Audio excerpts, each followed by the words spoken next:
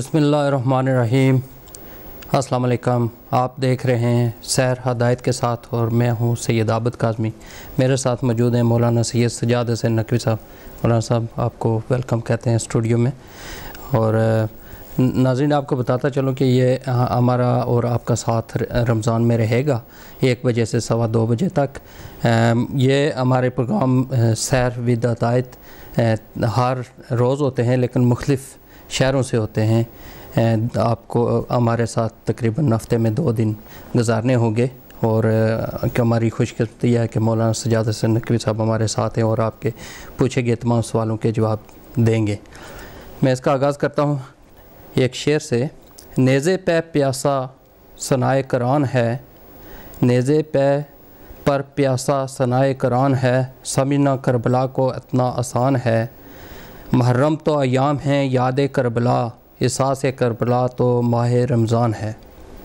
اس programme میں ہم سیری کی اہمیت، فضیلت کے حوالے سے آپ کو بتائیں گے اور رمضان کی اہمیت اور فضیلت کے حوالے سے بھی آپ سے بات ہوگی۔ اس کے علاوہ لائیو کالز کے ذریعے آپ کے سوالات لیں گے اور قرآن و حدیث کی روشنی میں آپ کے پوچھے گئے سوالات کے جواب، جوابات دیں گے۔ یہ پروگرام سوشل میڈیا پر بھی آپ دیکھ اور سن سکتے ہیں۔ یہ مہینہ یوں تمام مہینوں سے بہتر ہے۔ اس کے دن بہترین ایام، اس کی راتیں ساری راتوں سے بہتر اور اس کا وقت لمحہ بہترین اوقات سے ہے۔ اس ماہ میں تمام لوگوں کو ضیافت علائی کی طرف دعوت دی گئی ہے۔ اس میں تمہاری سانسیں تسبیح کا درجہ رکھتی ہیں اور اس میں تمہاری نیندیں عبادت اور تمہاری، تمہارے عمل مقبول ترین دعائیں مستجاب ہیں۔ اس ماہ میں اپنی بھوک اور پیاس سے روز قیامت کی جو تاش کو یاد کرو ضرورت مندوں اور متاجوں کو صدقہ دو اپنے بزرگوں کی توقیر کرو اور بچوں اور رحم و نوازش کرو بچوں پر رحم اور نوازش کرو صلح رحمی کرو اور اپنی زبانوں کو برائیوں سے پاک رکھو۔ قبلہ ابھی آپ آغاز کریں اپنی گفتگو کا اور ہمارے جو کالر آئیں گے جو سوال پوچھیں گے اس پر بات ہوگی۔ اعوذ باللہ من الشیطان الرجیم، بسم اللہ الرحمن الرحیم۔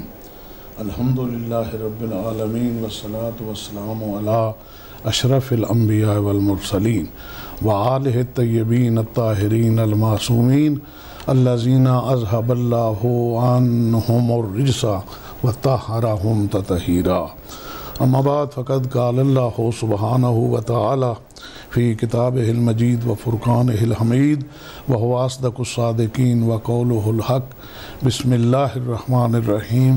یا ایوہ الذین آمنوا کوتب علیکم السیام کما کوتب الذین من قبلکم لعلکم تتقون. جناب قاظمی صاحب، سب سے پہلے میں ہدایت ٹی وی کا شکر گزار ہوں۔ انہوں نے ہمیں موقع دیا۔ کہ ہم اس مبارک مہینے میں شکریہ ادا کر سکیں اس معبود کا جس نے ہمیں یہ مہینہ پھر زندگی میں نصیب فرمایا۔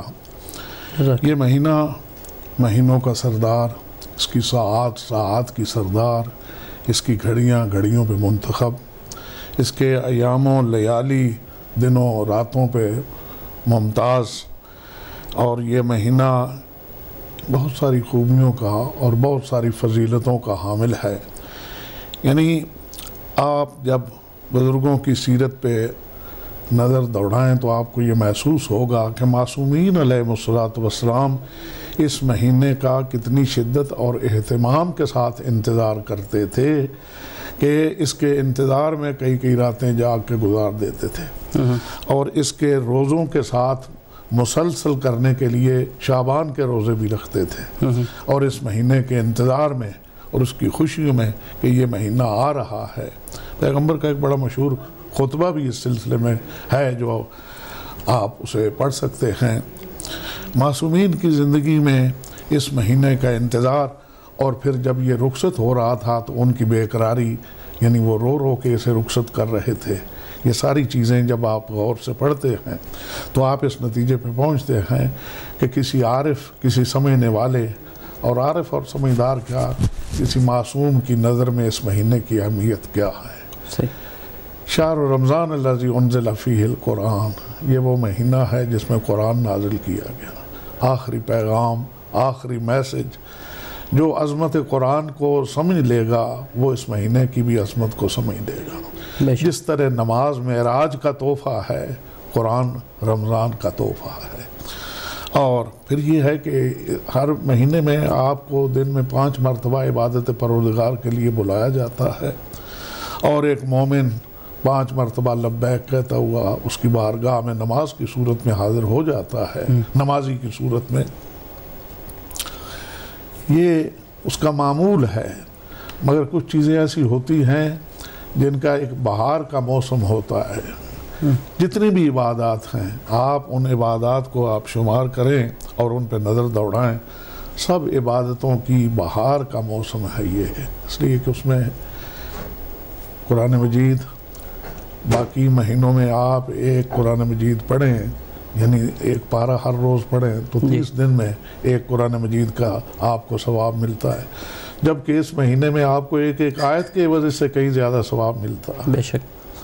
اس لیے کہ یہ قرآن مجید کی سالگرہ کا مہینہ ہے قرآن کی بہار کا مہینہ ہے۔ اور آپ جس ملک میں تشریف فرما ہیں اس میں ایک چیز بالکل محسوسات کے زاویے سے بھی آپ سمجھ سکتے ہیں۔ یہ ایک ایسا ملک ہے جس میں پوری دنیا بھر سے فروٹ اور سبزیاں یہاں آتی ہیں اور بارہ مہینے بارہ مہینے کے فروٹ اور سبزیاں دستیاب رہتی ہیں۔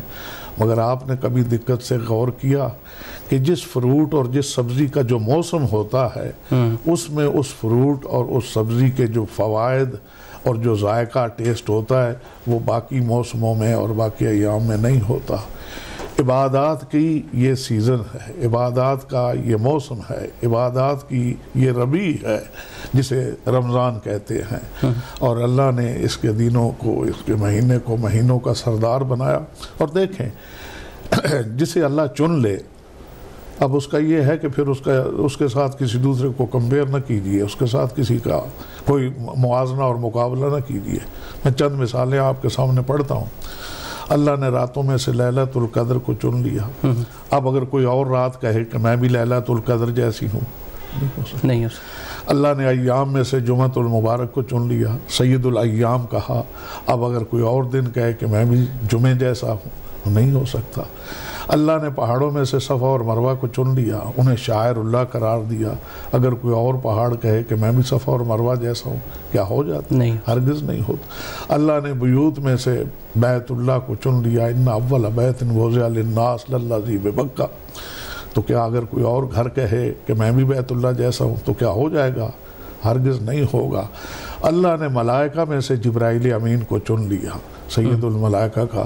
اگر ملک الموت میں بھی جبرائیل جیسا ہو نہیں ہو سکے۔ گا اسی طرح اللہ نے مہینوں میں سے رمضان المبارک کو چن لیا اور پھر اس کا انتخاب فرما کے اسی میں وہ آخری پیغام آخری میسج جس کے بعد اب کوئی کتاب نہ آئے گی جس طرح پیغمبر کے بعد کوئی نبی نہیں آ سکتا اسی طرح قرآن کے بعد اب الہام کی صورت میں اور وہی کی صورت میں کوئی کتاب نازل نہیں نہیں ہو ہوگی۔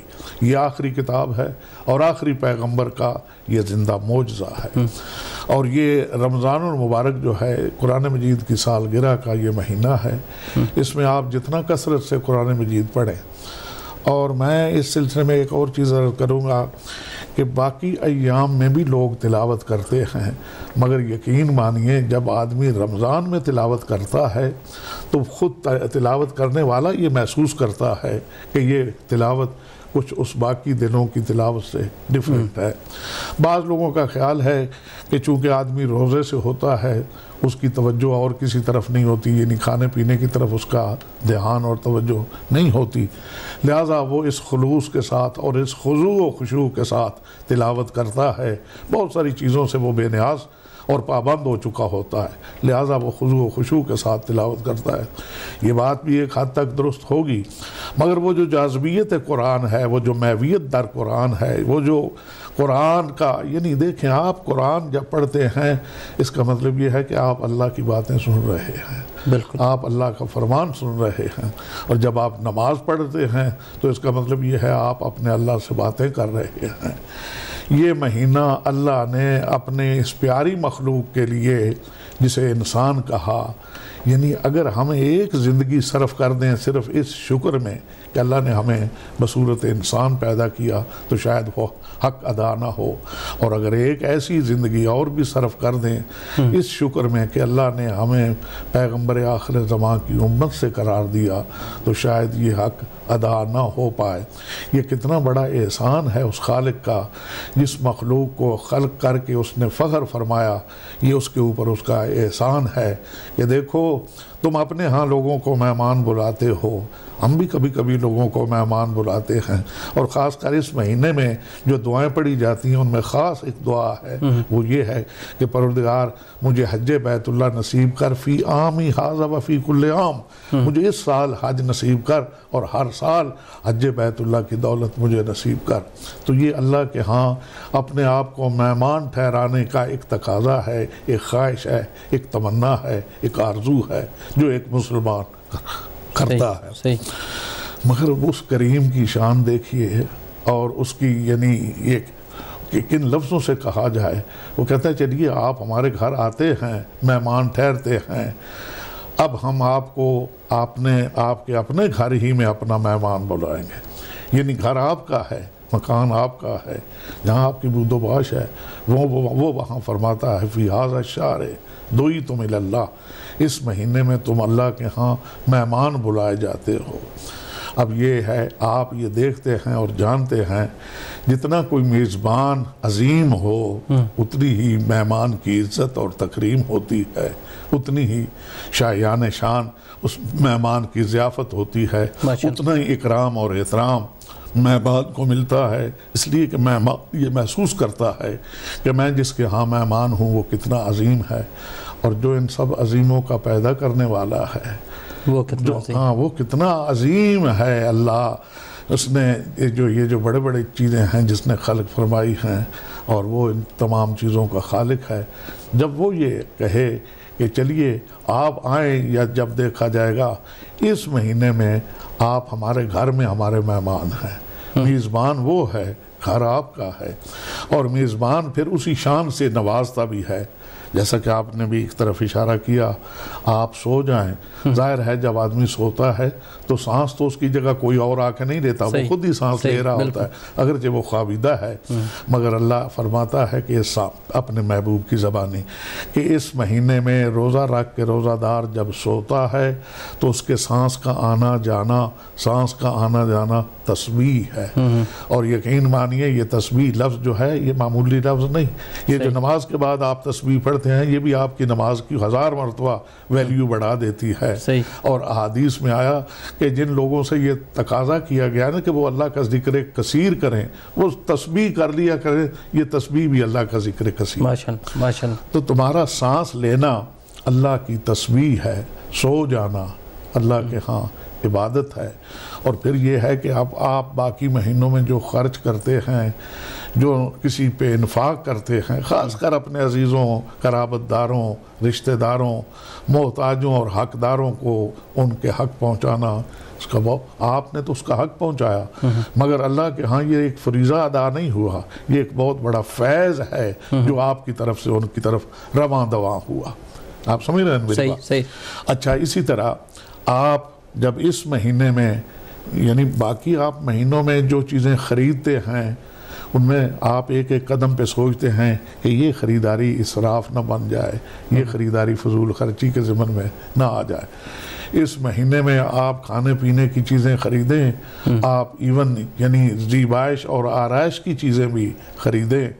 تو آپ کو اجازت ہے وہ ایک حد تک آپ کے ہاں وہ اسراف نہ کہلائے گا۔ اس لیے کہ اس میں بہت ساری چیزیں جو ہیں آپ نے عزیزوں کے لیے آپ نے تو حدیث میں آیا کہ جب کوئی مومن بازار میں جاتا ہے اور وہاں سے کوئی تحفہ خریدتا ہے اور وہ تحفہ خرید کے اپنے گھر لوٹتا ہے تو وہ اس طرح ہے اپنے بچوں کے لیے لے کے آ رہا رہا ہے۔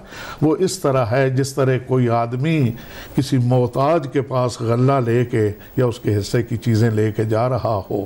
اور جب وہ اپنے گھر پہ پہنچے تو وہ تحفہ جو بازار سے وہ لایا ہے وہ اس طرح تقسیم کرے کہ پہلے بچیوں کو یعنی پہلے لڑکیوں شروع کرے تو پہلے بچیوں سے شروع کرے یعنی اناس سے شروع کرے پھر ذکور تک پہنچے پھر لڑکوں کو بیٹوں کو یعنی جب وہ تحفہ تقسیم کرے تو پہلے بیٹیوں کو بہنوں کو بچیوں کو یہ ساری تعلیم کیا ہے؟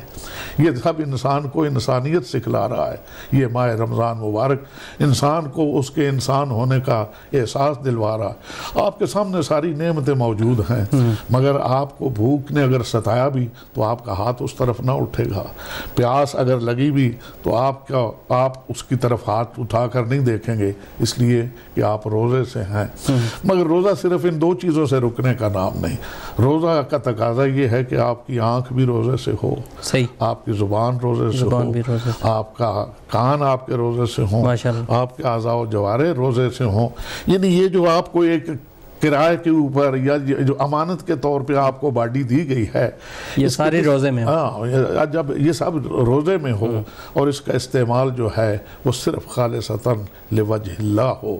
جو بھی آپ کام کرنا چاہیں اس میں پیش نظر آپ کے اللہ تبارک و تعالیٰ کی خوشنودی اور اللہ تبارک و تعالیٰ ہی کا تعمیل ارشاد ہو۔ پھر تو روزے کا لطف بھی صحیح، ہے۔ صحیح۔ اور اسی طرح منزلت بڑھتی چلی جائے گی۔ میں دو چھوٹی چھوٹی مثالیں پڑھتا ہوں آپ جی کے ساتھ ہر آدمی عادی ہے۔ وہ صبح اٹھ کے یعنی یہ مسئلے کی بات نہیں ہے ہر آدمی جب اٹھتا ہے صبح سویرے اٹھ کے ٹوتھ پیسٹ کرتا ہے برش کرتا ہے۔ یہ برش کرتا ہے کرتا رہے لیکن جس دن وہ یہ سنت پیغمبر سمجھ کے کرے گا اس کا یہ عمل وہ اس کی عادت کو بھی نام لے گا اور ایک اجر بھی لے کے آتے گا یہ ہے اپنا ہر عمل اپنا ہر کام جو ہے اسے للہ کیجیے اسے قربتاً اللہ کیجیے۔ اور پھر اللہ سے امید نہیں یقین رکھیے وہ آپ کے اس عمل کو قبول کیے ہوئے پیغمبر اکرم صلی اللہ علیہ وآلہ وسلم کے زمانے میں ایک آدمی نے مکان تعمیر کیا اور ظاہر ہے کچھ چیزیں ایسی ہوتی ہیں کہ جس کے بعد ولیمہ مستحب ہوتا ہے۔ ولیمہ مثلا آپ کے بیٹے کی شادی ہوئی تو اس کے لیے ولیمہ مستحب ہے۔ اور اگر آپ حج کر کے آئے تو ولیمہ مستحب ہے۔ آپ ولیمہ کریں مومنین کو بلائیں۔ ہم حج کی دولت سے شرف یاب ہوئے تو مومنین کو دعوت دیں۔ جب آپ کوئی نیا مکان بنائیں تو اس میں شفٹ ہونے سے پہلے حکم یہ ہے کہ ایک ولیمہ کر لیں، چند مومنین کو بلا کے وہاں، تاکہ وہ اس گھر اس میں آپ کی رہائش جو ہے وہ باعث برکت ہو وہ گھر آپ کے لیے باعث برکت ہو۔ جب پیغمبر بھی بلائے گئے اس ولیمے پہ حضور پہنچے حضور نے دیکھا کہ دیوار میں روشن دان رکھا ہے۔ حضور نے اس صحابی سے پوچھا یہ روشن دان تو نے کیوں رکھا ہے؟ کہا حضور یہ اس لیے رکھا ہے کہ اس میں تازہ ہوا آتی رہے اس سے روشنی آتی رہے۔ حضور فرماتے ہیں تازہ ہوا بھی آتی رہے گی روشنی بھی آتی رہے گی۔ مگر اس روشن دان کا رکھنا تیرے لیے باعث اجر و ثواب ہو جاتا اگر تو اس نیت سے رکھتا کہ میں اذان کی اذان آواز کی آواز۔ سن لوں گا کسی نمازی کے آنے جانے کی آہٹ پالوں گا وقت معلوم کر سکوں گا۔ تو یہ ہے چھوٹی چھوٹی بہت ساری چیزیں ایسی ہیں جن کی طرف توجہ دلواتے رہنے کی ضرورت ہے۔ اور یہ رمضان ہمیں توجہ دلاتا ہے۔ توجہ دلاتا ہے۔ آپ کھا رہے ہیں تو کیا کھا رہے ہیں؟ اور پھر میں ایک اور چیز عرض کروں۔ رمضان جو ہے ہمیں ایک اور درس دیتا ہے۔ اور وہ یہ ہے آپ پوری دنیا بھر کا سروے کریں۔ جتنی ترقی یافتہ اقوام ہیں جن لوگوں نے بھی دنیا کے معاملے میں کامیابی حاصل کی ہے صحیح۔ ان کے باقی جتنے وہ ہیں ذرا یا جن طریقوں سے انہوں نے حاصل کی وہ تو ہوگا۔ مگر ایک چیز جو ہے وہ سب میں کامن اور مشترک ہے وہ ہے وقت کی پابندی۔ جس نے وقت کی قدر نہیں کی وہ رہ گیا۔ وہ۔ پیچھے رہ گیا۔ وقت اس کو چھوڑ جاتا ہے۔ اس لیے کہ وقت کی اللہ نے اسی لیے قسم کھائی ہے۔ وہ اپنے رفتار سے جا رہا ہے۔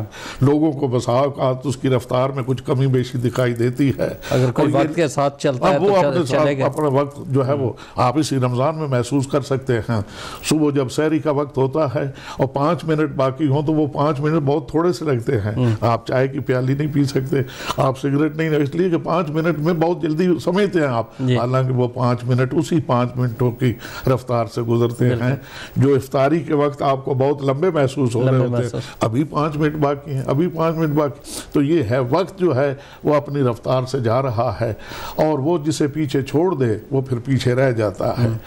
رمضان نے ہمیں وقت کا پابندی بھی سکھائی۔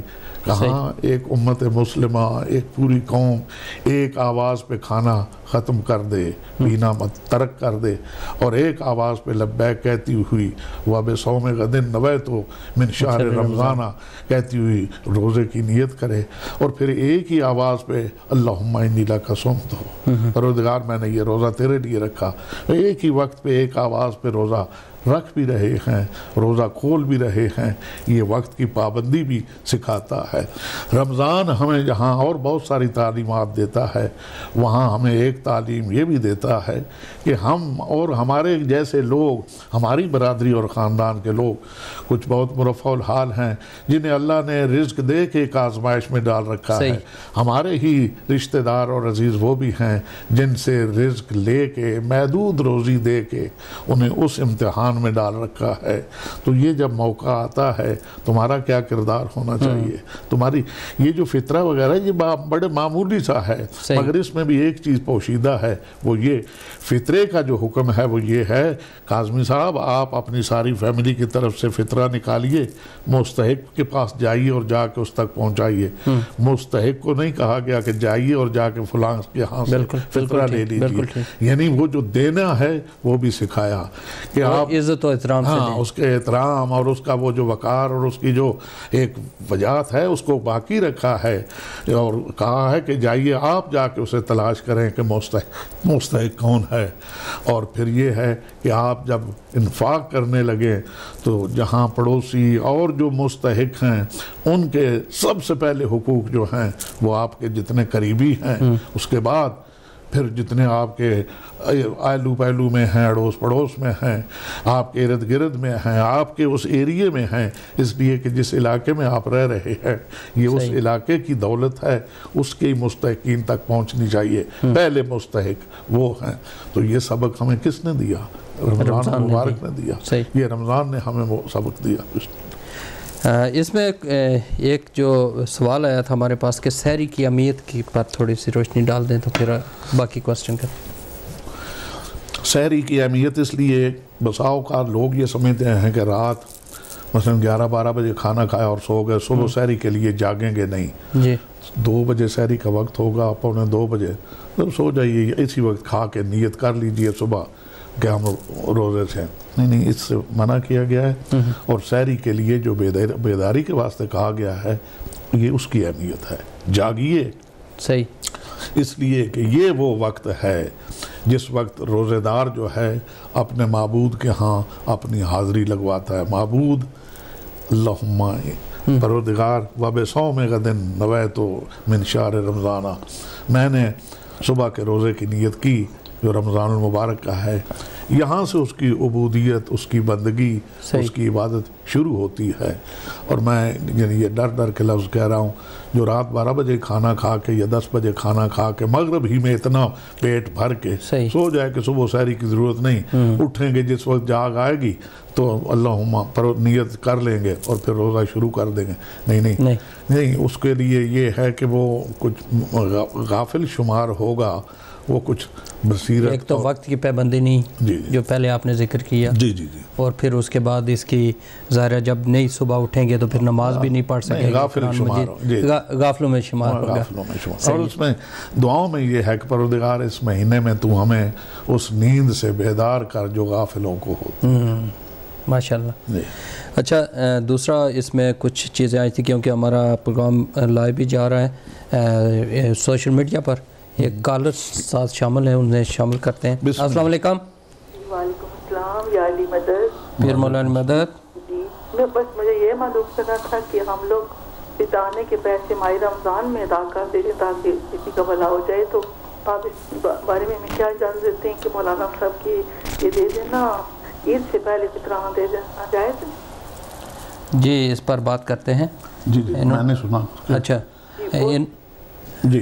دوبارہ پوچھیں؟ ذرا ذرا بلند آواز سے بولیں پلیز۔ جی ماہ رمضان میں ہم لوگ فطرہ ادا کرتے تھے فطرانہ جو ہے تاکہ غریبوں کو کام آ جائے۔ تو آپ تو آپ اس سلسلے میں ہمیں اجازت دیتے ہیں کہ ماہ رمضان میں دیا جائے یا عید والے دن دے دیا جائے۔ اس طرح میں بس یہ مسئلہ پوچھتا تھا۔ جی فطرانہ وہ کہتے ہیں کہ ابھی رمضان میں ہی دے دیں یا عید والے روز دے دینا ضروری ہے؟ عید والے روز نماز عید سے پہلے تک تو اس کا آخری وقت ہے۔ ٹھیک ہے۔ آپ رمضان میں بھی اپنے فوقہ سے دریافت کر لیں اور دے سکتے ہیں۔ میں میرے خیال میں وہ مجزی ہونا چاہیے۔ جی۔ مگر یہ ہے کہ اس کا جو وہ وقت ہے وہ یعنی آخری وقت عید پڑھنے سے پہلے آپ کے ہاں کوئی مہمان آیا آخری رمضان کے دن اس کا بھی فطرت کو فطرہ کوئی بچہ پیدا ہوا اس کا بھی فطرہ۔ یہ سب جو ہے وہ آخری حساب تو اسی دن ہوگا یعنی پہلے دیں تو آخر اس وقت نیت کر لیں کہ یہ جو کچھ ہم نے دیا یہ فطرے کے جی مد میں ہے یہ دے سکتے ہیں جی۔ دے سکتے ہیں اچھا دوسرا یہ بتائیں کہ یہ جو ابھی لوگ جس سے بات ہو رہی تھی سحری کی جب سحری کے ٹائم اٹھتے ہیں تو پھر بہت فرض کیا کچھ لوگ جب اذان ہوتی ہے اس وقت بھی کھانا پینا ترک جلدی نہیں کرتے، تو اس میں کیا کتنی گنجائش ہوتی ہے؟ اذان جو ہے وہ تو بالکل وہ جو جس جو کھانے پینے کا ٹائم ہے، اس کے آخر پہ ہے، اس کے بالکل اینڈ پہ ہے۔ اذان سے تو کچھ ہے پک پہلے پہلے کھانا پینا چھوڑ دینا چھوڑ دینا چاہیے اور اذان جو ہے وہ بڑے اطمینان سے باقاعدہ کھڈی وغیرہ کر کے نیت کر کے پھر اذان سننی چاہیے یا اذان پڑھنی چاہیے۔ آپ اذان کے وقت کو بھی جانتے ہیں وہ ہر وقت آپ کے سامنے ہوتا ہے جی۔ کہ کس وقت اذان ہوگی آپ اس سے پہلے روزے کا جو اہتمام ہے وہ کر لیں۔ اس کا کر لیا کریں۔ دوسرا اور جب اذانیں جو ہیں بہت بسا اوقات اذان بھی وہ لیٹ کرتے چلے جاتے ہیں۔ یعنی اذان اگر بالکل اسی وقت پہ ہوتی ہے جس وقت روزے کا وقت شروع ہو رہا ہوتا ہے۔ آپ سمجھ رہے ہیں نا؟ مثلا دو بج دو بجے اور کچھ منٹ پہ روزے کا وقت شروع ہو اور اسی وقت کوئی اذان بھی دے تو وہ ظاہر ہے سحری کا آخری وقت ہے۔ ٹھیک۔ ہاں تو لیکن یہ ہے کہ اچھا اچھا یہ بتائیں جب روزہ بند کر لیتے ہیں تو اس وقت فرض کیا پیسٹ کرتے ہیں یا دانت صاف کرتے ہیں تو خون نکل آتا ہے ہاں نہیں، دانتوں سے تو وہ ہاں، کیا وہ میں وہ میں عرض کرتا ہوں آپ مسواک کریں یا وہ کریں اس کے ساتھ اگر خون وغیرہ نکل آئے کوئی چیز حلق سے اندر حلق سے۔ اندر نہیں جانا چاہیے اور مسواک کے لیے یہ ہے کہ جب جب بھی آپ منہ میں ڈالیں مسواک اس کو پہلے دھو لیں اور پھر اس کو منہ میں اندر ڈالیں یعنی روزے کی حالت میں مسواک کر روزے کے عالم میں بھی اگر آپ مسواک کریں تو کوئی چیز حلق کے اندر نہیں جانا چاہیے۔ مسواک صرف دانتوں کی صفائی کا نام ہے اور وہ کر سکتے تو اس کا اگر کوئی ذائقہ زبان کے ذائقہ ٹیسٹ جو ہے وہ تو زبان بتا دے گی۔ ٹیسٹ حلق کے اندر نہیں جاتا۔ ٹھیک ٹھیک۔ ٹیسٹ صرف زبان کا زبان پر ہوتا ہے۔ چلیں یہ بھی حلق سے اندر نہیں کوئی چیز جانی چاہیے۔ اگر حلق سے اندر تو غبار یہ تمباکو یا سگریٹ کا دھواں یہ بھی حلق سے اندر گیا تو روزہ باطل ہو جائے گا۔ صحیح۔ جی۔ چلیں۔ تو اچھا کچھ لوگ یہاں مجھے سوال کیونکہ آن لائن بھی آتے ہیں کچھ کالرز کے ذریعے آتے ہیں۔ جی جی۔ تو ایک صاحب پوچھ رہے تھے کہ کچھ لوگ بڑا جلدی کرتے ہیں جب افطاری ہوتی ہے۔ تو اس میں اس کے بارے میں تھوڑا سا بتا دیں۔ دیکھیں میں عرض کروں ہمارے ہاں مذہب اہل بیت علیہ والسلام میں یہ ریکمینڈڈ ہے کہ آپ پانچوں نمازیں جو ہیں وہ روزے کی حالت میں پڑھیں۔ ٹھیک۔ صبح کی نماز وہ تو روزہ شروع ہوا شروع ہوا، پڑھی، ٹھیک ہے۔ آپ نماز پڑھ لی۔ زورین وہ تو دوپہر کو ہوتی ہے۔ صحیح ہے۔ مغربین کی نماز جو ہے یہ بھی بہتر ہے اور کہ روزے کی اجازت ہے اگر کوئی زیادہ دیر بھوک برداشت نہ کر سکتا ہو یا پھر وہ عشاء کی نماز پڑھتا پڑھتا ویسے ہی گر جائے تو یہ ان کے لیے دوسرا حکم ہے۔ لیکن جس کے لیے ممکن ہے بہتر یہ ہے اور موتا امام مالک میں بھی ایک حدیث ہے کہ حضور پانچوں نمازیں جو ہیں وہ روزے کے عالم میں پڑھا کرتے تھے۔ ٹھیک ہے یہ زیادہ صبر میں شامل ہو جاتا ہے۔ اگر انتظار کیا جائے نماز کے بعد کھولیں تو۔ ہاں نماز کے بعد کھولیں روزہ۔ ٹھیک ہے اور اسی طرح روزہ کھولنے کے بھی جو آداب ہیں وہ بھی یعنی یہ ہے کہ آپ نمک سے کھولیں روزہ۔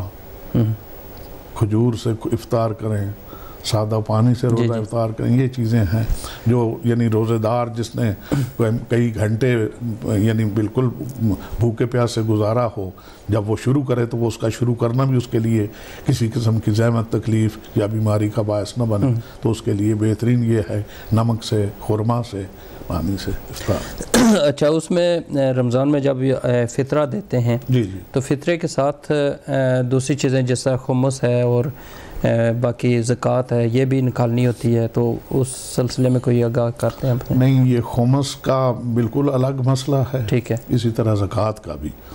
یہ جو زکوٰۃ فطرہ ہے کچھ لوگ اس میں مکس کر رہے ہیں اس وجہ سے میں نے کہا۔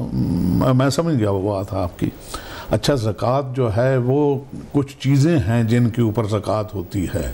ٹھیک۔ بھیڑ بکری پہ زکوٰۃ ہے اونٹ اور گائے پہ زکوٰۃ ہے سونا چاندی پہ زکوٰۃ ہے اور اسی طرح کچھ اجناس ہیں ان پہ بھی ہے زکوٰۃ۔ تو یہ یہ چیزیں ان کی ایک مقدار۔ ہاں ہاں ان کی ایک مقدار اور بتائی گئی ہے۔ اس پہ زکوٰۃ ہے۔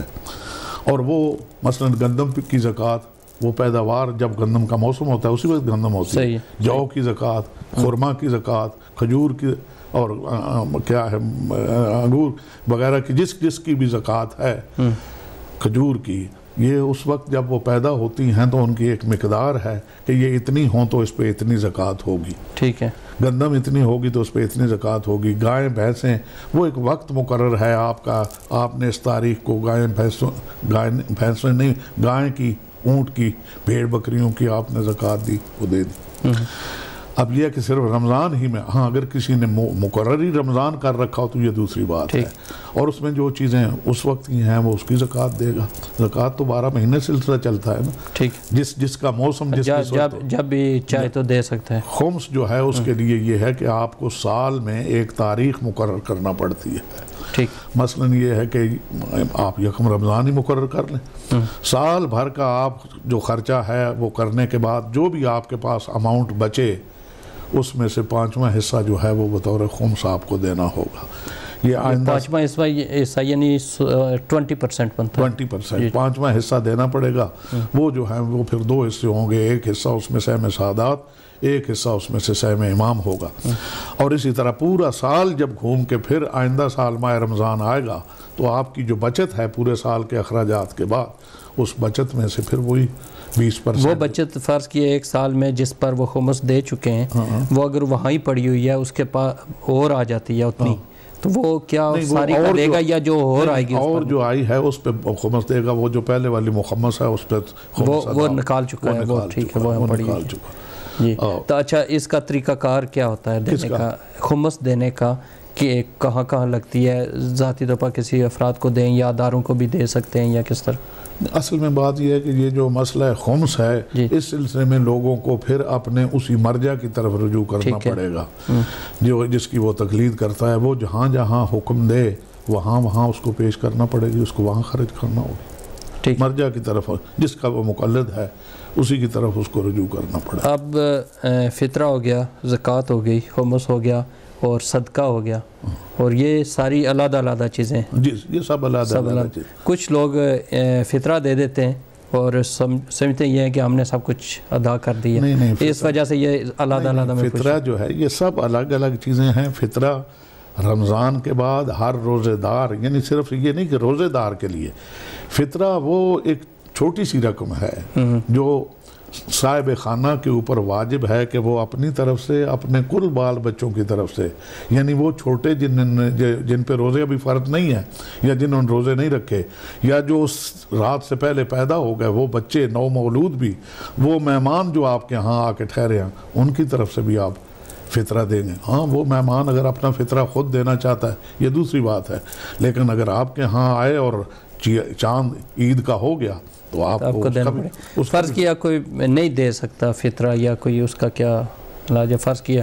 میں میں اس کا بھی علاج بتا جس جو آدمی فطرہ نہیں دے سکتا وہ اس کا مطلب یہ ہے کہ وہ اپنے ود ان ہز ہاؤس وہ خود مستحق کے فطرہ ہے ٹھیک ہے۔ جو نہیں دے سکتا۔ مگر کم از کم اسے ایک فطرہ تو دینا پڑے گا۔ ایک فطرہ وہ اپنی بیوی کو دے وہ اپنی بیٹی کو دے وہ اپنے بھائی کو دے یعنی وہ سب سے ہوتا ہوا آخر ایک کسی مستحق تک چلا جائے گا تو جو بالکل ہی گیا گزرا ہے یا اس قسم اس کا یہ طریقہ ہے یہ فریضہ اس سے ادا ہو جائے۔ جو استاد نہیں رکھتا وہ لے پھر فطرہ۔ جی جی۔ لینے کی استاد تو رکھتے ہیں۔ ہاں ایک فطرہ تو اس کو دینا ہی پڑے گا۔ صحیح صحیح۔ جی۔ اور بسم اللہ۔ چلیں آپ اس حوالے سے رمضان جو ہم یہاں رکھ رہے ہیں تو ایک لمبا روزہ ہے۔ بعض ایک صاحب نے یہاں کیا تھا میسج۔ انہوں نے کہا تھا کہ اس میں ٹائم مقرر ہو سکتا ہے جس طرح وہ کہتے تھے ہم تو سورج طلوع ہونے سے لے کر سورج غروب ہونے تک بنتا ہے۔ لیکن کچھ لوگ یہ کہتے ہیں کہ اس کی کوئی ٹائمنگ ہونی چاہیے جہاں نہیں نہیں اتنا لمبا روزہ ہو جاتا ہے۔ نہیں وہ لمبا ہو یا چھوٹا ہو جب بہت چھوٹے تھے تو بھی یہیں کے لوگوں نے فائدہ اٹھایا۔ ٹھیک ہے۔ جب ساڑھے چار بجے روزہ ختم ہو جاتا تھا یعنی دسمبر اور جنوری کے روزے وہ بھی تین لوگوں نے رکھے۔ آ، ظاہر ہے وہ تو چھوٹے تھے۔ اچھا یہاں اللہ کا یہ فضل ہے کہ روزہ لمبا ہو دن لمبا ہو موسم جو ہے وہ روزے داروں کے لیے وہ کیا ہے حوصلہ افزا ہے اور مددگار ہے۔ انہیں اتنی شدت سے پیاس یا وہ شدت کی گرمی چونکہ نہیں ہوتی۔ میں سمجھتا ہوں یعنی میں بھی محسوس کر سکتا ہوں کہ اتنا لمبا اس میں زیادہ سے زیادہ تھکاوٹ ضرور ہو جاتی ہے۔ مگر وہ گرسنگی اور تشنگی کوئی کسی قسم کا تنگی کا باعث یا پریشانی کا باعث نہیں ہوتی۔ ناظرین، آپ ہم سے کال بھی کر سکتے ہو میسج کے ذریعے دوبارہ اگر آپ نے سوالات کچھ ایسے ہیں جو اس کی آپ کو سمجھ نہیں آتی تو ہماری خوش قسمتی ہے کہ علامہ مولانا سید سجاد حسین نقوی صاحب ہمارے ساتھ اسٹوڈیو میں موجود ہیں، آپ کے پوچھے گئے سوالوں کے جوابات دیں گے تو آپ ہمیں کال کر کے بھی پوچھ سکتے ہیں اور میسج، کیونکہ فیس بک پر بھی لائیو ہے اور اس پر بھی آپ اگر میسج کرتے ہیں تو میں آپ کے سوالوں کو ان سے آپ آپ کے سوالوں کو شامل کر کے ان کا جواب لوں گا۔ اچھا یہ بتائیں کہ رمضان کی امیت کے حوالے سے تو ہم نے بات کر لی۔ اب کچھ نمازیں ہیں جو رات کو پڑھی جاتی ہیں فرض نمازوں کے علاوہ۔ ان کے بارے میں تھوڑا سا اگر بتا دیں۔ جیسا کہ بتایا گیا کہ یہ عبادت کی بہار کا مہینہ ہے۔ اور اس میں وہ جو خاص کر تین راتیں ہیں جو لیالی قدر جن میں محسوس کی جا سکتی ہیں ان میں سو سو رکعت کہی گئی ہے۔ اور باقی ہر یعنی ہر شب آپ نماز نوافل پڑھیں اس میں باقی لوگوں کے ساتھ کوئی ہمارا اس قسم کا کوئی ایسا اختلاف نہیں ہے۔ اختلاف صرف یہ ہے کہ کیا یہ نمازیں جو نوافل کے طور پہ پڑھی جاتی ہیں ان کی مخصوص مقدار مقرر کر کے مسجد میں باقاعدہ جماعت کے ساتھ تو یہ ہمارے ہاں بالکل نہیں ہے۔ ٹھیک ہے۔ اس لیے کہ پیغمبر اکرم صلی اللہ علیہ وآلہ وسلم نے فرمایا کہ بہترین نوافل وہ ہیں جو گھر پہ ادا کیے جائیں۔ ٹھیک۔ وہ تو آپ کا روزہ خود روزہ اللہ کا اور بندے کا معاملہ ہے۔ باقی ہر چیز جو ہے اس میں کچھ نہ کچھ دیکھنے والے ہوتے ہیں مگر روزہ دار اسی لیے ارشاد ہے خدا فرماتا ہے کہ روزہ دار کا معاملہ میرے ساتھ براہ راست ہے۔ روزہ دار نے میرے لیے روزہ رکھا میں ہی اس کی جزا بھی اسے دوں گا۔ اس لیے یہ میرا مہمان ہے میں تو جتنے نوافل ہیں یعنی غیر فرضی نمازیں جو غیر واجبی نمازیں ہیں صبح کی نماز زور مصر کی نماز با جماعت وہ جو زورین صبح مغربین کی نماز مسجد میں جائیے اور جا کے بعد جماعت پڑھیے۔ بہت زیادہ عاجر ہے۔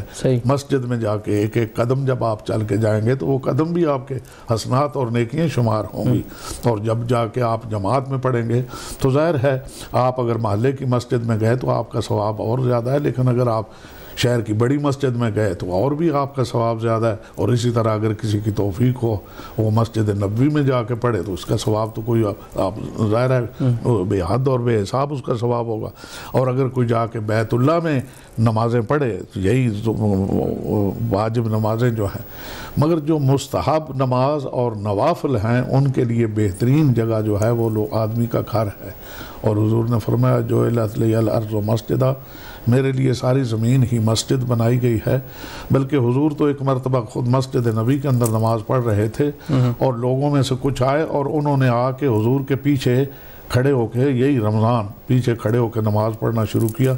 حضور نے محسوس کیا کہ یہ شاید میرے ساتھ میری اقتداء میں اور جماعت کی صورت اختیار کی ہوئے ہے۔ تو پیغمبر نے اپنی نماز کے دوران ایک ایسا طریقہ اختیار کیا ایسی صورت اختیار کی کہ وہ پھر جماعت کے ساتھ نہ رہیں اور جب نماز تمام ہوئی تو حضور نے ان سے فرمایا کہ یہ جماعت کے ساتھ نہیں ہے۔ بہتر یہ ہے کہ اپنے اپنے گھروں میں یا مسجد میں بھی پڑھو تو فرادہ پڑھو ہر ایک اپنی اپنی نماز پڑھے۔ جس طرح جس کا حکم۔ صحیح ہے۔ وہ ایک آدمی نے پوچھا تھا کیونکہ اسی پر بات ہو رہی ہے کہ آپ لوگ تراویاں کیوں نہیں پڑھتے؟ تو وہ اس پر آپ نے کچھ جواب تو دی ہے لیکن یہ ہے کہ اگر واضح تو کریں گے تو وہ سمجھ جائے شاید یہ ہے کہ پھر وہ یعنی بس میں نے وہ جو مناسب جتنی بات سمجھی وہ عرض کر دی۔ اب یہ ہے کہ ہمارے ہاں چونکہ ہم وہ سمجھتے ہیں دین وہ ہے جو اللہ نے دیا جو جبرائیل لے کے آیا جس کو پیغمبر نے پہنچایا اور آل پیغمبر نے جس کے ایک ایک حکم پہ عمل کر کے دکھایا۔ اور تراوی تو تراوی پڑھنے والے بھی جانتے ہیں حضرت عمر کی ایجاد ہے۔ ہمارے ہاں دین کے ایجاد کرنے کا کسی کو حق نہیں ہے۔ وہ جو دین آیا ہے وہی ہمارے ہاں پہنچا ہے اور اسی پہ ہم عمل ٹھیک ہے۔ اچھا یہ بتائیں کہ جو آدمی سفر میں ہوتے ہیں یا بیمار ہوتے ہیں یا ان کے لیے تو ہے کہ وہ روزہ چھوڑ سکتے ہیں لیکن اس سے علاوہ اور کون سی وجوہات ہیں؟ بیمار آدمی اگر روزہ نہیں رکھ سکتا تو وہ اپنے تندرست ہونے کا انتظار کرے وہ ظاہر ہے ٹھیک ہو جائے گا تو وہ جتنے یہ اس کے روزے رہ گئے ہیں۔ بیماری کے سبب سے وہ بعد میں رکھے گا وہ اس کے ذمہ ہیں۔ ٹھیک ہے۔ یہ تو حکم ہو گیا بیمار کا۔ اور اگر کوئی ایسا بیمار ہے جو مسلسل بیمار ہے خدا نخواستہ ایسی بیماریاں ہیں جس میں روزہ رکھنا اس کے لیے ممکن ہی نہیں ہے وہ نہیں رکھ سکتا۔ اس کی دوائیں ایسی ہیں یا اس کی بیماری ایسی ہے اگر وہ روزہ رکھے گا۔ تو ظاہر ہے بارہ پندرہ گھنٹے اٹھارہ گھنٹے سولہ گھنٹے اگر وہ بھوک پیاس سے رہے گا تو اس کی بیماری کا کوئی برا اثر ہو جانے کا بھی خطرہ ہے۔ تو اس کے لیے یہ حکم ہے کہ وہ روزہ نہ رکھے اور روزے کی بجائے وہ فدیہ دے۔ فدیہ یعنی ایک آدمی کے یوں سمجھیے کہ جس طرح ایک آدمی کے کھانے کا روزہ رکھنے اور افطار کرنے کا جتنا خرچ ہوتا ہے ٹھیک ہے۔ وہ تقریباً چودہ چھٹانک اسے مد اس اس زبان میں کہتے ہیں وہ تقریباً تیرہ چودہ چھٹانک وزن بنتا ہے غذا اناج اور اس کی صورت میں پھر پیسے وہ دے۔ اور اسی طرح جس طرح فطرہ ہے فطرہ بھی ساڑھے تین کلو تقریباً بنتا ہے اس حساب سے وہ فطرہ دے۔ اس حساب سے یہ پیسے دے۔ وہ دے گا فدیہ۔ وہ اللہ زینہ یوتی کو نہ ہو جو لوگ روزے کو بہت مشکل سمجھتے ہیں ان کے لیے فدیہ۔ فدیہ۔ وہ فدیہ دیں گے۔ اسی طرح مسافر آدمی جو ہے وہ ایک مقدار ہے سفر کی۔ وہ اس سفر پہ اور سفر بھی مباح ہو۔ یعنی یہ مباح کی شرط اس لیے کہ اس کا سفر جو ہے وہ شرعی طور پہ جائز ہو ناجائز سفر نہ ہو۔ اگر وہ جھوٹی گواہی دینے کے لیے بھی جا رہا ہے تو اس کے لیے روزہ راکت نہیں ہوگا اس کو روزہ رکھنا پڑے گا۔ اور اگر وہ کسی اور برے ارادے بری نیت سے جا رہا ہے جو سفر مباح نہیں ہے جو سفر جائز نہیں ہے اس میں قصر بھی جائز نہیں ہے وہ روزہ رکھے گا۔ اور اسی طرح یہ جو مستورات کے کچھ ایام ہوتے ہیں، یہ بھی بعد میں روزہ رکھ لیں گی، رمضان میں نہیں وہ روزہ رکھ سکتی۔ ہیں یعنی ان کو بھی روزہ بعد میں رکھنا بعد ہوگا۔ میں رکھنا ہو نماز کی انہیں چھٹی ہے تو نماز ایک روزے کے بدلے ایک ہی رکھیں گے۔ ان کے لیے ایک اتنی رعایت ہے کہ ایک کے بدلے ایک ہی رکھ سکتے ہیں۔ ٹھیک ہے۔ اچھا جو جان بوجھ کر چھوڑ دیتے ہیں روزہ جو جان بوجھ کر چھوڑ دیتے ہیں وہ تو پھر ان کے لیے قضا بھی ہوگی اور کفارہ بھی ہوگا۔ یہ تو بہت مشکل مرحلہ ہے۔ جان بوجھ کر کیوں چھوڑ رہا ہے؟ وہ نافرمان ہے باغی ہے یا غافل ہے کس صفت میں کس یعنی وہ آئے گا وہ حساب اور شمار اور قطار میں۔ اگر تو وہ باغی ہے کہتا ہے نا جی ہمیں روزے سے کیا لینا دینا؟ اس کا تو پھر دین ہی سے کوئی تعلق نہیں۔ اس لیے کہ روزہ دین کے ضروریات دین میں سے ہے۔ اس کا انکار تو آدمی کو دین سے بھی۔ خارج کرنے کا باعث ہو سکتا ہے۔ لیکن اگر کوئی غافل ہے تو پھر اس کو کرنا چاہیے اس کو روزے بھی رکھنا چاہیے اور اس کو روزے کی کفارہ بھی اچھا سفر کے لحاظ سے فرض کیا یہاں سے لندن بندہ جاتا ہے۔ ہاں ہاں۔ تو واپس بھی آ جاتا ہے اے، روزہ رکھ کر ہی۔ تو کیا وہ رکھ سکتا ہے یا کیا اس کا طریقہ صبح روزہ؟ رکھ کے آدمی جائے۔ دوپہر سے پہلے پہلے واپس آ جائے۔ یعنی زوال سے پہلے پہلے واپس واپس آ جائے تو اس کا روزہ صحیح ہے۔ ٹھیک ہے۔ وہ روزہ اس کا صحیح ہے۔ اور اگر صبح روزہ رکھ کے جائے اور دوپہر کے بعد پلٹ کے آئے پھر اس کا روزہ اسے دوبارہ وہ رکھنا پڑے گا۔ رکھنا پڑے گا۔ سفر کی وجہ سے یہ روزہ اس کا مجزی اور کافی نہیں تو بعد میں ایک ہی رکھنا ایک پڑے رکھے گا ایک ہی رکھے گا۔ فرض کیا اگر سفر کرنا ہے اس نے تو پھر زوا یعنی اس کا مقصد یہ ہے کہ زور کی نماز پڑھ کر زورین کی اس کے بعد کرے۔ اس کے بعد کرے۔ زور کی نماز زورین کی نماز پڑھ کے یعنی زوال آفتاب کے بعد روزے دار اگر سفر شروع کرے تو جہاں تک جی چاہے سفر کرے اس کا وہ روزہ وہ روزہ ہے۔ وہ روزہ ٹھیک ہے۔ یعنی زیادہ ضروری یہ ہے کہ زوال کا جو ٹائم ہے وہ اپنی جگہ پر گزرے۔ ہاں وہ آپ جہاں جائے۔ جی۔ صحیح ہے۔ کچھ لوگ کیونکہ یہاں سے سفر کرتے ہیں ٹرین میں کرتے ہیں یا جیسے بھی تو ان کا پرابلم ہوتی ہے کہ وہ درمیان میں زوال کا کوئی ٹائم آ جاتا ہے۔ فرض کیا بارہ بجے کا ٹائم ہے زوال کا تو گیارہ بجے اگر سفر کرتے ہیں تو ایک بجے دو گھنٹے کا سفر ہے تو ان کا بھی پھر وہی۔ میں عرض کرتا ہوں اس سلسلے میں جس طرح مثلا بس ڈرائیور ہیں ٹھیک ہے۔ ٹرین ٹرین ڈرائیور ہے ٹھیک ہے۔ اس کی تو ڈیوٹی ہے وہ سفر کر رہا ہے۔ صحیح۔ اس کے لیے سفر سفر کا کوئی گنجائش نہیں ہے وہ روزہ رکھ سکتا ہے۔ یعنی اس کی ڈیوٹی ہے وہ تو جا سکتا وہ ہے ٹھیک ڈیوٹی ہے۔ پہ جا رہا ہے اس کا یہ تو پھر اور پھر کوئی دن ہی نہیں ہے کہ وہ پھر کب وہ رکھے گا۔ یعنی جو اپنی ڈیوٹی پر جا رہا ہے اس وہ- پر یہ اپلائی نہیں وہ ہوتا۔ کثیر السفر ہے اور وہ اس کا سفر اس کا معمول ہے۔ سفر اس کے جس طرح باقی لوگوں کے نہیں معمولات ہے زندگی اس کا سفر معمول ہے۔ وہ سفر میں بھی روزہ رکھے گا اور اس کا روزہ کافی اس کو الگ سے پھر روزہ رکھنے کی ضرورت نہیں ہے۔ ٹھیک ٹھیک۔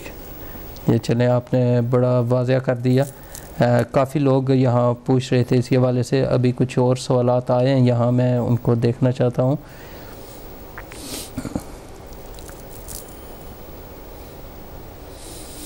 اچھا۔ ٹھیک۔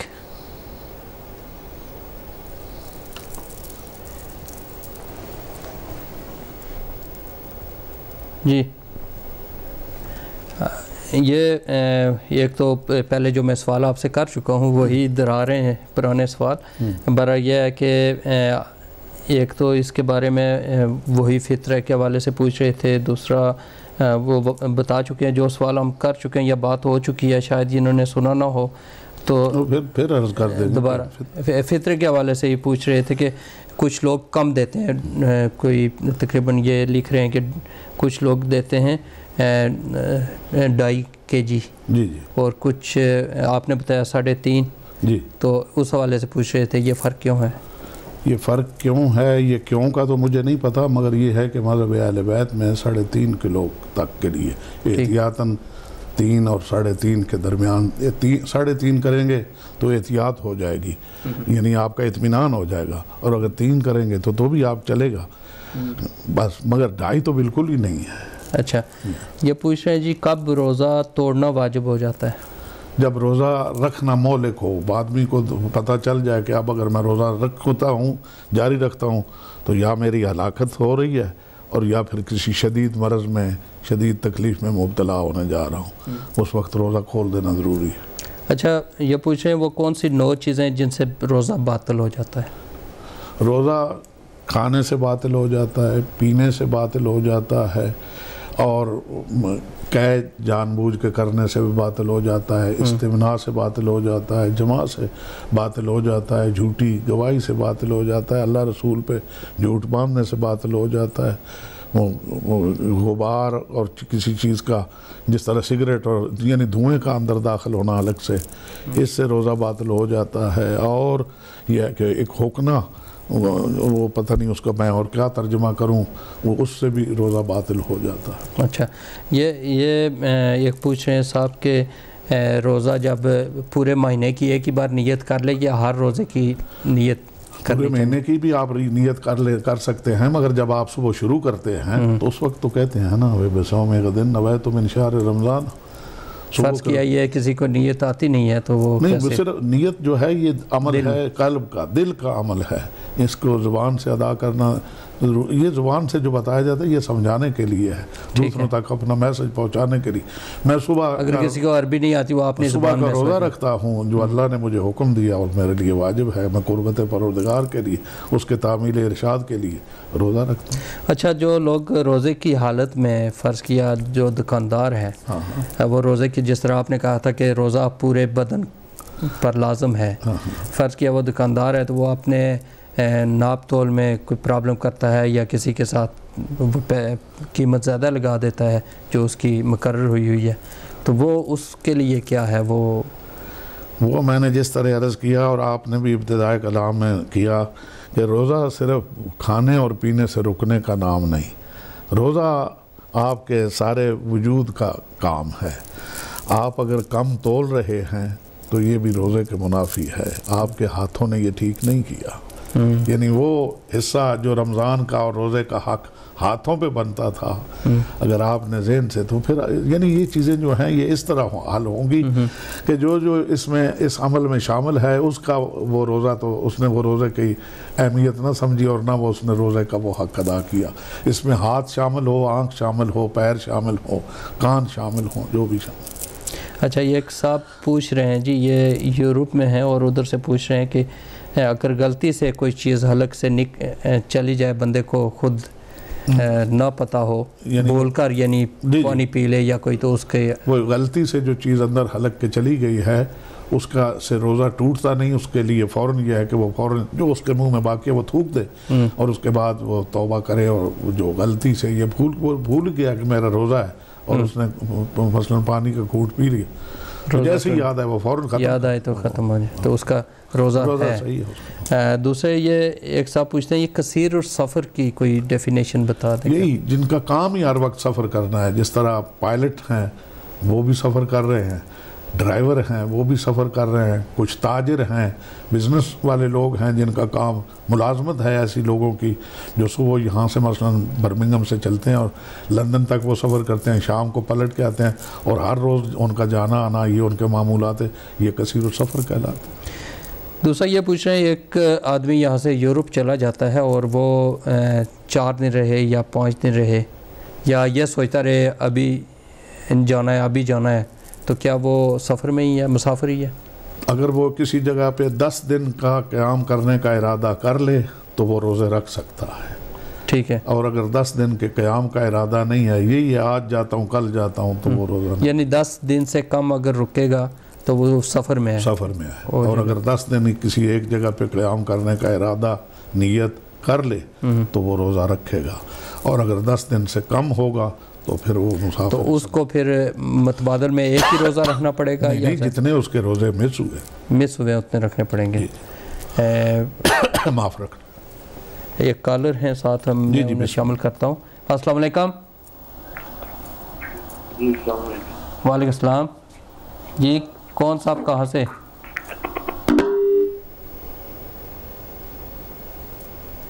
جی کال ڈراپ ہو گئی ہے۔ تو آپ سے با- بات ہو رہی تھی وہ سف- مسافر کے حوالے سے۔ جی جی۔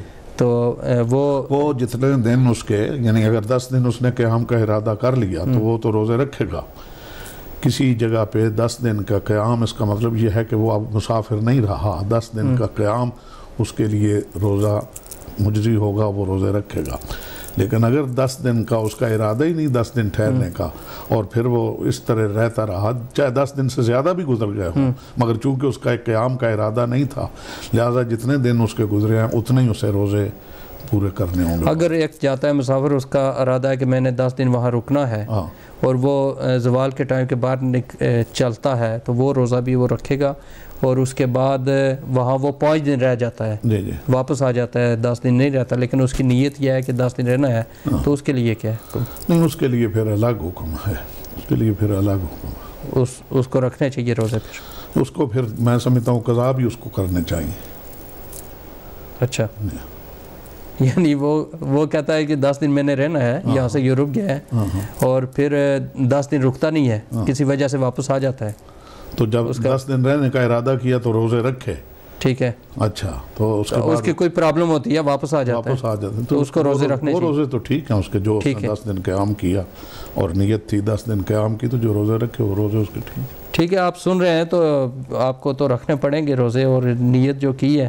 ہاں جان بوجھ کر اگر ایسا ہوا تو پھر اس کو اس کی قضا دینی پڑے گی۔ فرض کیا روزے قضا ہو جاتے ہیں کسی وجہ سے تو پھر اس کا کیا فدیہ کیا ہے اور کس طرح؟ پھر وہ روزے کے متبادل روزہ رکھ بھی نہیں سکتا تو اس کے متبادل وہ کیا دے؟ نہیں وہ تو پہلے عرض ہو چکا۔ یعنی وہ بیمار آدمی یا وہ معذور آدمی جو روزے کی شدت کو برداشت نہیں کر سکتا بوڑھا ہے یا بیمار ہے تو اس کے لیے یہ ہے کہ وہ روزے کی جگہ پہ وہ فدیہ دے گا۔ ہر روزے کے بدلے میں ایک مد تعام جو ہے، وہ چودہ چٹانک جو کہا گیا، وہ وہ دے گا۔ اسے فدیہ ہی لفظ استعمال کرتے ہیں آپ چھٹانکوں کو چھوڑیے۔ وہ روزے کی، ہر روزے کی جگہ پہ وہ فدیہ دے گا۔ تو اگر وہ ٹھیک ہو جائے، تو ظاہر ہے اس سے اپنے روزے جو قضا ہوئے ہیں، وہ رکھے۔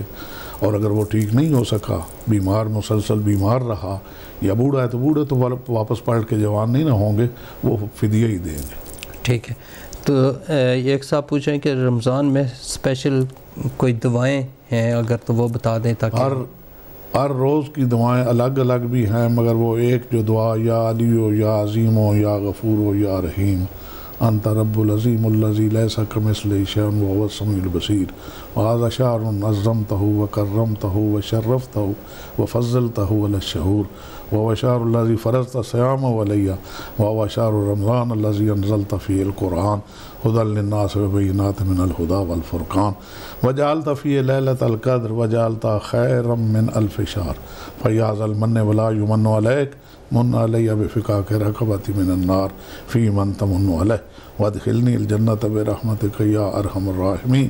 یہ دعا جو ہے یہ اللہ کی حمد اللہ کی عظمت اللہ کی بزرگی کے اقرار اور اس کے بعد اس کی نعمتیں اور پھر اس مہینے کی برکتیں یہ سب بیان کرنے کے بعد پھر اللہ کے ہاں ایک تقاضا ہے۔ اے وہ معبود جو جس پہ کوئی اور احسان نہیں کرتا تو ہی احسان کرنے والا ہے۔ اور ہم پہ یہ احسان فرما۔ کہ ہمیں دوزخ کی آگ سے نجات دے۔ یہ دعا ہے جو ریکمینڈڈ ہے معصومین کی طرف سے کہ ہر نماز کے بعد یہ پڑھا کرے صحیح ہے۔ اچھا ایک صاحب پوچھتے ہیں کہ آپ نے کہا تھا کہ آنکھوں کا بھی روزہ ہوتا ہے تو آنکھوں کے روزے میں کے بارے میں کہتے ہیں کہ کیا آپ کیسے بتانا پسند کریں گے کہ کیوں کون کون سی چیزیں آنکھوں کا روزہ کیسے؟ ایک بابصیرت آدمی یہ محسوس کر سکتا ہے کہ مجھے جان بوجھ کر کیا دیکھنا چاہیے۔ اور جان بوجھ کر کس چیز سے بچنا چاہیے۔ کسی کی نظر اتفاقاً پڑتی ہے کسی ایسی جگہ پہ جس کا دیکھنا مناسب نہیں۔ میں اس سے زیادہ آسان الفاظ میرے پاس بھی نہیں۔ تو فوراً اس کو اپنی نظر جو ہے اس کو مٹا۔ اذا مرو باللغو مرو کراما۔ جب وہ کسی ایسی جگہ سے گزرتے ہیں تو شرفا کی طرح گزر جاتے ہیں۔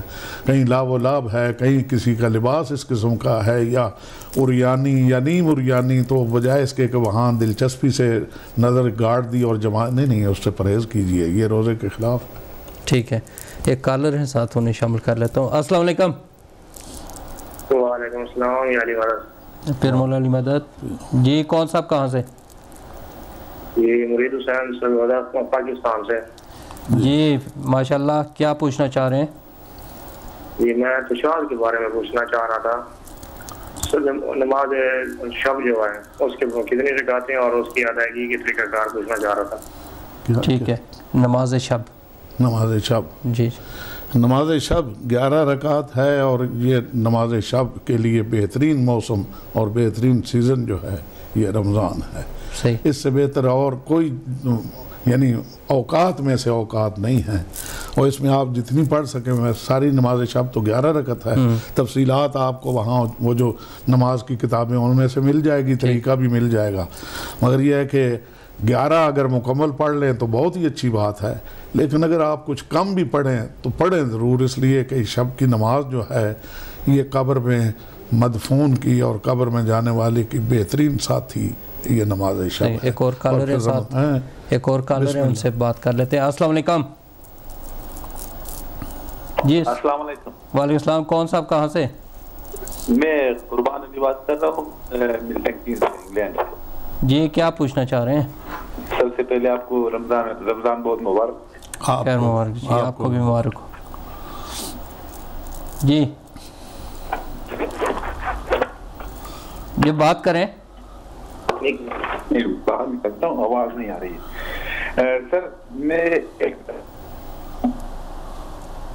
جی جی بات کریں آپ۔ میں ویئر ہاؤس میں کام کرتا ہوں صبح جاتا ہوں پانچ بجے کام پہ اور آتا ہوں تقریباً دو بجے۔ کام میرا بہت ہیوی کام ہے بہت ہی ہیوی کام ہے۔ اور آتا ہوں دو بجے جب گھر آتا ہوں نماز پڑھتا ہوں تھوڑا سو کے پھر سیکنڈ جاب کو چلا جاتا ہوں۔ پانچ بجے سے لے کر دس یا گیارہ بجے رات تک۔ میرا بہت مشکل ہو رہا ہے۔ حالت اتنی بری ہو جاتی کہ بے ہوش تقریباً ہو جاتا ہوں میں۔ ہوں تو کیا پوچھنا کیا چاہ رہے ہیں؟ ابھی کوئی کوئی ایسا راستہ ہے میرے لیے جو جی بات کریں۔ پوچھنا میں یہ چاہتا ہوں کہ میں کیا کروں؟ مجھے رو- روزہ رکھنا ہی پڑے گا۔ جی۔ چلیں یعنی سنیں آپ ٹی وی پر سنیں آپ کو بتاتے صبح پانچ بجے جاتے ہیں اور پھر تھک جاتے ہیں اور ہیں دو, بجے آتے ہیں پھر تھوڑا سو کے پھر جاتے ہیں۔ اور وہ وہ جس طرح بول رہے ہیں کہ میں بہت گھبر تھک جاتا ہوں میرے لیے بہت مشکل ہے روزہ رکھنا۔ آپ کے لیے دو راستے ہیں یا تو یہ ہے کہ آپ اس جاب کے علاوہ کوئی اور جاب تلاش کریں۔ جو اس سلسلے میں جس کے جو کام بھی آسان ہو جو جو آپ کے لیے آسان ہو۔ اور اگر اس کے علاوہ جاب بھی نہیں مل سکتی اور یہی جاب ہے اور روزہ آپ کے لیے مشکل ہے تو پھر آپ فدیہ بھی دیں گے اور جو چھوٹے روزے ہوتے ہیں مثلا سردی کے تو روزہ بھی رکھیں گے۔ ٹھیک ہے۔ نیکسٹ کال کو شامل کرتے ہیں۔ السلام علیکم۔ جی السلام علیکم۔ جی بات کریں آپ لائیو ہیں۔ جی السلام علیکم۔ وعلیکم السلام۔ بات کریں۔ حضور فون اس لیے کیا ہے کہ علامہ صاحب کو بہت عرصے کے بعد دیکھا ہے آج ٹی وی پہ میں نے اور ان کو شکریہ کے لیے فون کیا ہے کہ آپ آئے اور آپ نے علم دیا ماشاء اللہ تو کہاں سے بات کر رہے ہیں؟ کون بول رہے ہیں؟ میں طارق یعنی بات کر ہوں لنڈن سے سر۔ ٹھیک ہے۔ چلیں بہت بہت شکریہ۔ تو سب کو بات اور ان کا بہت شکریہ کہ آج ٹی وی پہ آئے اور اتنا علم کی باتیں کی۔ بہت مہربانی آپ کا بہت بہت شکریہ۔ اللہ آپ کو سلامت رکھے آپ کی توفیقات میں اضافہ فرمائے۔ آپ کی محبت کو ہم قدر کی نگاہ سے دیکھتے ہیں۔ صحیح ہے۔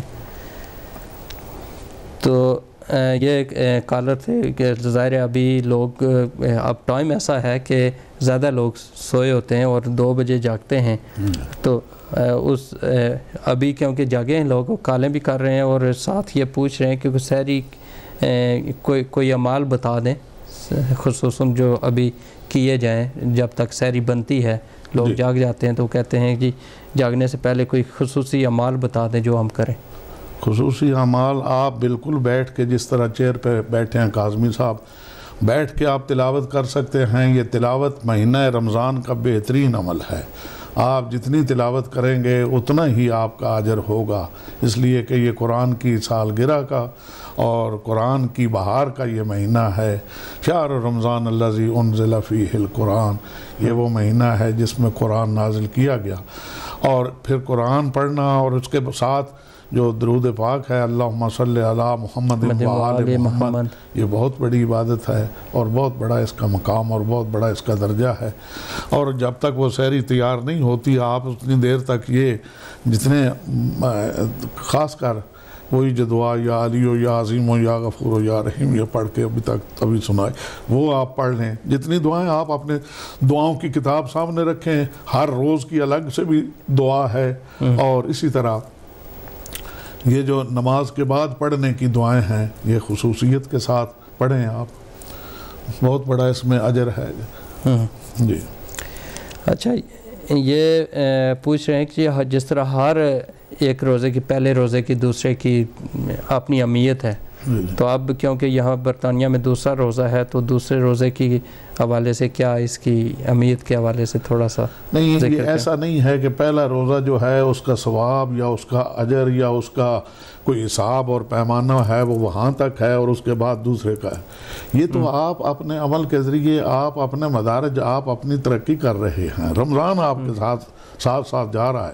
وہ آپ کا میزان ہے جس نے آپ کو آپ کے سوتے ہوئے میں بھی تسبیح کی عبادت کا اجر دیا۔ جی جی۔ آپ کے سانسوں کا آنا جانا جس نے تسبیح کہا جس نے آپ کو اللہ کا مہمان قرار دیا۔ جس کے لیے اس نے شفاعت کا اہتمام کیا وہ تو اپنے حساب سے رواں دواں ہے۔ اب یہ کہ دوسرے کا اجر کیا ہوگا اور تیسرے کا اجر کیا ہوگا یہ اب سلسلہ اجر جو ہے اب شروع ہو گیا ہے۔ اور آپ نے اس بیر بے کرام میں کشتی ڈال دی ہے۔ اب آپ جتنا اس کشتی کو کھیو کے آگے لے جائیں گے آپ اپنا اجر مستحق حاصل کرتے چلے جائیں گے۔ وہ کہتے ہیں جی پہلا اشرا اشرا رحمت ہے۔ ہاں ہاں۔ تو اس میں اشرا رحمت میں ہمیں جو عمال کرنے ہیں کیا دوسرے اشرے میں اس سے زیادہ کرنے ہیں یا کس طرح؟ دیکھیں جناب یہ صرف نام ہے عشرہ رحمت ہے عشرہ مغفرت ہے یہ یعنی سب کچھ ایک ہی ہے ایسا ہی ہے ہر یہ ایک وہ آپ نے وہ ایک شعر تھا وہ اس وقت بھول رہا ہوں کہ تو آپ نے پوچھا شب قدر کی نشانی کیا ہے؟ جی۔ ہر شب شب قدر است اگر قدر بدانی ہے۔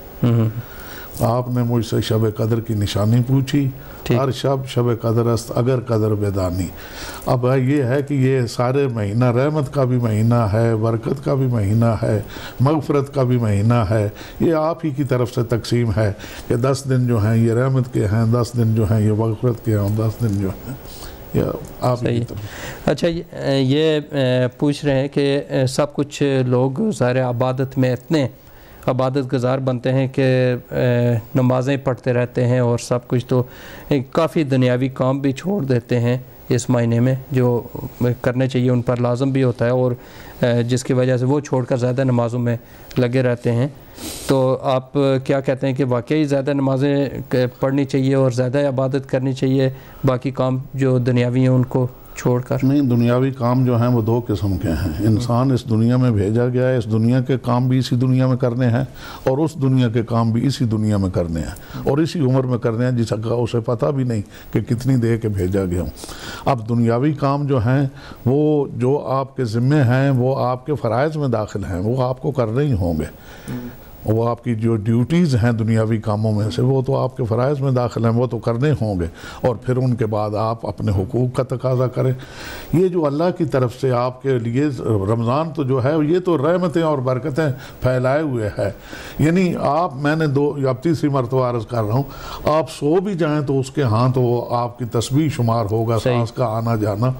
یہ آپ رمضان کو اس طرح بھی نہ محسوس کریں کہ باقی کام چھوڑ دیں گے تو رمضان کا حق ادا ہوگا نہیں جب آپ باقی کام جو آپ کا فریضہ ہے وہ روزہ رکھ کے رمضان کے تقاضوں کو پورا کر کے کر رہے ہیں تو یہ بھی رمضان ہی کے ثواب میں شامل ہو اچھا ایک صاحب پوچھ رہے ہیں کہ کیا رمضان جب آتا ہے تو لوگ عبادت کی طرف دوڑیں لگاتے ہیں؟ کیا باقی جو عرصہ ہے اس کیا اس میں نہیں کرنی چاہیے اس طرح باتیں یہ یہ کافی دیکھیں۔ یا خوف کی وجہ سے ہے؟ کسی ڈر کی وجہ سے کرتے ہیں اللہ تعالیٰ کے خوف یا لوگوں کو دکھانے کے لیے کرتے ہیں یا کیا؟ اب یہ ہے کہ ہر قسم کے لوگ ہوتے ہیں دکھانے والے بھی ہوتے ہیں خوف والے بھی ہوتے ہیں ذوق والے بھی ہوتے ہیں۔ اصل بات یہ ہے جو ذوق سے ہو۔ اور وجہ اس میں کیوں لپکتے ہیں کیوں دوڑتے ہیں؟ باقی مہینوں میں آپ ثواب چنتے ہیں۔ چننا آپ جانتے ہیں چن رہے ہیں آپ۔ اس مہینے میں آپ ثواب سمیٹتے ہیں۔ سمیٹتے ہیں۔ اور وہ جو تنگی داما کی شکایت ہے وہ بھی اس مہینے میں نہیں رہتی۔ آپ کو آپ جتنا سمیٹ سکتے ہیں وہ سمیٹ لیجیے۔ اس کے ہاں رحمت کے دروازے کھلے ہیں۔ اور سب سے بڑی بات یہ ہے کہ شیطان کو اس مہینے میں قید کر دیا جاتا ہے۔ وہ تمہیں کوئی نقصان نہیں پہنچا سکتا۔ اگر تم صحیح معنوں میں اپنی توجہ اپنی لو اللہ کی طرف لگا لو اور اپنے آپ کو خالصتاً لوجہ اللہ رمضان کے لیے کمر بستہ ہو کے تیار کر لو۔ پھر جو دنیا کا کام آپ کے لیے جو مباح ہے جو آپ کرتے ہیں وہ بھی رمضان ہی کے اعمال اور اسی اجر کے ساتھ۔ یعنی ایسا نہیں ہے کہ باقی مہینوں میں اس کا اجر کچھ یہ جو پچھلا مہینہ گزرا شابان اسے حضور نے کہا کہ یہ میرا مہینہ ہے اور اس میں روزوں کی تاکید کی اس میں اعمال کے لیے کہا اس میں دعاؤں کے لیے کہا۔ پیغمبر کا منشا یہ تھا کہ اس روزے کو اپنے نام سے معنون کر کے اپنی امت کو اس مہینے میں کچھ اعمال کر کے دکھا کے اس قابل کیا جائے کہ وہ اللہ کے مہمان بن سکے۔ وہ اللہ کے ہاں حضور ہو سکے، اللہ کے ہاں پیش ہو سکے۔ یعنی پہلے انہیں اپنے دروازے پہ تو بلائیے اور انہیں بتائیے کہ جب پیغمبر تک آپ پہنچے تو پھر آپ کی رسائی اللہ کے ہاں بالکل ممکن ہے۔ آپ پہنچ جائیں گے اور آپ کا ہر عمل جو ہے وہ قربتاً اللہ ہوگا۔ صحیح ہے۔ تو کیونکہ ہمارے پاس ٹائم کم ہے تو ہم چاہتے ہیں آپ نے دعا بھی کرنی ہے تو اس رمضان کے حوالے سے کوئی ایم میسج ایک دے کر آخری اس کے بعد دعا کرنی۔ سب سے اہم میسج جو ہے وہ یہ ہے کہ جب آپ دعا کرتے ہیں دیکھیے دعا کے سلسلے میں آپ نے دعا کہا دعا کا کسی کے پاس سٹاک نہیں ہوتا کہ فلاں کے پاس دعائیں بہت ہیں۔ نہیں نہیں۔ دعا جو ہے وہ تبدیل کرنے کی چیز ہے۔ مومن ایک دوسرے کے لیے دعا کریں۔ قبول کرنے والے کی اپنی مرضی ہے۔ صحیح۔ آپ کی دعا میرے حق میں قبول کر لیں میرے اٹھے ہوئے ہاتھ آپ کے حق میں قبول کر لیں پہلے کسی اور کے لیے دعا کیجیے۔ اللہ غفور الرحیم ہے، وہ جانتا ہے کہ یہ میرے بندے سے محبت کر رہا ہے، اس کے لیے دعائیں مغفرت کر رہا ہے۔ اور اس سے بہتر اور موقع کیا ہوگا کہ وہ والدین جنہوں نے آپ کو کما ربا یعنی صغیرہ پروردگار، جس طرح انہوں نے بچپنے میں میں جب بہت چھوٹا تھا میری تربیت کی تھی، اسی طرح تو ان پہ رحم کر اور اپنے ماں باپ کے لیے، اپنے مرحومین کے لیے، اپنے ان کے لیے جو دعائیں مغفرت کریں گے، اس سے بڑی اور دعا کیا ہے؟ ان کے لیے دعا ہوگی اپنے ساتھیوں دوستوں کے لیے موجودین کے لیے۔ اور اس وقت تو امت مسلمہ کے لیے دعا کرنے کی ضرورت ہے۔ سب سے بڑی ضرورت جو ہے امت مسلمہ کے لیے دعا کی ضرورت ہے۔ اس لیے کہ امت مسلمہ اس وقت جو صورت حال سے دو چار ہے وہ ہر بینا اور دانا دیکھ رہا ہے کہ کوئی ان کا لیڈر نہیں، کوئی ان کی رہنمائی کرنے والا نہیں، کوئی ان کا ہدف نہیں، کوئی کسی طرف دوڑ رہا ہے، کوئی کسی طرف گھوم رہا ہے۔ جب اللہ نے تمہیں عیسائیوں اور یہودیوں سے دور رہنے کے لیے کہا تھا مسلمان انہی کی گود میں جا رہا ہے۔ پہلے تو ان کی گود میں جاتا تھا اب انہیں اپنی گود میں بٹھا رہا ہے۔ مسلمان اب رمضان کے کیا فائدے اور کیا فیوز حاصل کرے گا؟ جبکہ وہ سری اللہ کے احکام کی خلاف ورزی کر رہا ہے۔ اللہ نے فرمایا ہر نماز میں کہتا ہے غیر المغضوب علیہم والضالین ہمیں وہ نہ مغضوبوں کا راستہ چاہیے نہ گمراہوں کا راستہ چاہیے اور مغضوب علیہم اور گمراہوں ہی کے پیچھے پڑا ہوا ہے انہی سے دوستیاں کر رہا ہے۔ جب اللہ نے فرمایا کہ ان یہود و نصارہ سے دوستی مت کرو یہ تمہارے دین کے دشمن ہیں اور اسی حد تک دشمن دو- دوست ہیں جب تک یہ تمہیں اپنی طرف کھینچ نہیں دیتے یہ اپنی چیزیں تمہارے اوپر مسلط نہیں کرتے۔ تو ان سے بچ کے رہو۔ تو جن سے منع کیا گیا تھا مسلمان ان کے لیے سب سے زیادہ ضرورت ہے دعا کرنے کی کہ مسلمان پروردگار اس قوم کے اوپر رحم فرما اس قوم کی سوچوں کو درست فرما اس قوم کے وہ جو بھولے ہوئے اسباق ہیں وہ انہیں یاد فرما۔ پروردگار بے حق محمد وال محمد اس رمضان کی برکت سے ان کے وہ جو کھلے ہوئے شیرازے ہیں بکھرے ہوئے شیرازے ہیں انہیں درست فرما بگڑے ہوئے حالات کو ٹھیک۔ فرما۔ یہ ایک سوال آیا آخری اس کے بعد دعا کی طرف بڑھیں گے۔ سعودی عرب سے ایک صاحب ہیں، انہوں نے سوال کیا ہے، کال کیا ہے، لائیو انہوں نے بات تو نہیں کی، لیکن سوال اپنا لکھوا دیا ہے۔ انہوں نے کہا جی ایک بندہ ہے، اس کے اس نے شادی نہیں کی ہوئی تھی اور اس کے بھائی بہن ہیں۔ وہ بھی مرحلہ قریبی نہیں ہیں۔ تو، اور ان ان کے پاس امانت ہے اس بندے کی۔ وہ سعودی عرب میں ہے، فوت ہو گیا ہے۔ تو وہ کس کو دے، کیا کیا طریقہ کرے؟ طریقہ کار یہی کرنا پڑے گا اسے کہ وہ امانت جو ہے یا تو اس کے وارثوں تک جن یعنی جس کی امانت تھی وہ حقیقی جو وارث ہوں ہاں جس کی امانت تھی وہ فوت ہو گیا۔ ہاں وہ فوت ہو گیا۔ اس کے جو وارث ہیں اس کے جو لواحقین ہیں جو اس کے رشتہ دار ہیں اس تک وہ وار اس کی امانت کو پہنچائے۔ یہ اس کی ذمہ داری بنتی ہے۔ ٹھیک ہے۔ اور اگر اس کا کوئی وارث نہیں ہے یا اس کو کوئی وارث مل نہیں رہا یا اس کا وارث کیا کہتے ہیں اس وارثوں تک پہنچانا ممکن نہیں ہے تو اس کے بیہاف سے اس کے نیابت میں وہ صدقہ کر۔ اگر اس نے وصیت کی ہو کوئی وصیت پہ عمل کرنا بھی اسی طرح ضروری ہے جس طرح وہ امانت کا پہنچانا مستحق اگر اس نے وصیت نہیں کی تو اپنے طور پر یہی کرے کہ حقیقی اگر وارث بھی نہیں ملتے تو کسی کو وہ کسی اگر ادارے کو اگر اس کے وارث ہو وہ مقدور بھر کوشش کرے کہ اس کے وارث ملیں اور ان کے وارثوں تک وہ چیزیں پہنچائیں اور اگر وہ اس کے وارث نہ مل سکیں یا وارث ہو ہی نہیں وارث وہ نہ ڈھونڈ سکے تو پھر جی۔ اس کے بیہاف اس کی نیابت میں اس کی طرف سے وہ خیرات کر دے اور یہ بہترین موقع ہے۔ اور بہت شکریہ قبلہ آپ کا بہت بہت شکریہ۔ آپ نے کافی سوالوں کے جواب دیے اور بڑی اچھی گفتگو کی ہے کیونکہ یہاں ٹائم اب ہو گیا ہے دعا کا تو ہم چاہتے ہیں کہ دعا کریں اس کے بعد اجازت سبحان ربک رب العزت عما یصفون وسلام علی المرسلین والحمد للہ رب العالمین۔ اللہم انا نسألک بحق محمد وعلی والفات وفاطمہ والحسن والحسین بحق تسعت معصومین من ذریت الحسین علیہ الصلاۃ والسلام۔ پروردگار بحق محمد وآل محمد بطفیل محمد وآل محمد۔ رمضان کی برکات رمضان کے فیوز رمضان کی خیرات رمضان کی توفیقات سے بھرپور فائدہ اٹھانے کی توفیق عطا فرما۔ آمین۔ پروردگار بے کہ محمد و آل محمد بطفیل محمد و آل محمد اس مقدس مہینے اور اس میں نازل ہونے والی کتاب اور اس کی برکتوں کے ذریعے سے پروردگار بے کہ محمد و آل محمد ہماری لغزشوں ہماری خطاؤں اور ہمارے گناہوں کو معاف فرما ہماری توفیقات میں اضافہ فرما ہمارے مرحومین کے درجات بلند فرما ہمارے یہ چینل جو خدمات انجام دے رہے ہیں انہیں آسن طریقے سے مزید خدمات انجام دینے کی توفیق عطا فرما۔ پروردگار بھی کہ محمد و آل محمد ہمارا پیغام جہاں جہاں تک پہنچ رہا ہے یہ پیغام آل محمد ہے اسے پذیرائی نصیب فرما۔ پروردگار بھی کہ محمد و آل محمد بطفیل محمد و آل محمد عراق میں اتبات عالیات کی حفاظت فرما مراج وزام کی حفاظت فرما مومنین کرام کی حفاظت حفاظت فرما ایران کے انقلاب کی حفاظت فرما ثانی زہرا جناب ام المصائب جناب زین السلام اللہ علیہ حاکم ملک میں امن و امان قائم فرما تاکہ وہاں زیارت اربعین پڑھی جا سکے۔ پروردگار بے حق محمد و آل محمد پوری امت مسلمہ کو اتفاق و اتحاد عطا فرما اور امت مسلمہ کے حقیقی لیڈر حقیقی رہنما حقیقی قائد امام زمانہ کے ظہور میں تعبیر فرما ربنا تقبل منا انکا انت السمیع العلیم وتوب علینا انکا انت التواب الرحیم۔ بہت شکریہ۔ ناظرین اسی کے ساتھ ہمیں اجازت دیجیے زندگی رہی صحت رہی تو انشاءاللہ نیکسٹ ویک اسی ٹائم آپ کے سامنے حاضر ہوں گے اور آپ کے سوالوں کے جواب دیں گے۔ اسی کے ساتھ اجازت دیجیے اللہ حافظ۔